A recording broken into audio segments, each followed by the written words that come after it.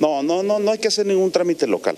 Eh, se hace un trámite que es centralizado, se presenta ante el Consejo General una solicitud, incluso ante el presidente del Consejo General.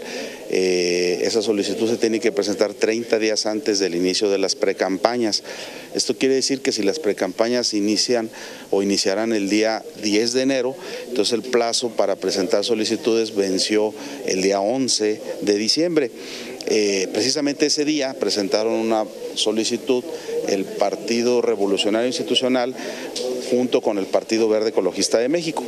Eh, fue la única que se presentó, es una coalición parcial, es decir, no abarca la totalidad de los distritos, pero sí más del 50% de los mismos. Eh, son 244 eh, distritos de los 300 que integran el territorio nacional, pero aquí lo interesante para Durango es que los cuatro están incluidos en, en esos 244 distritos.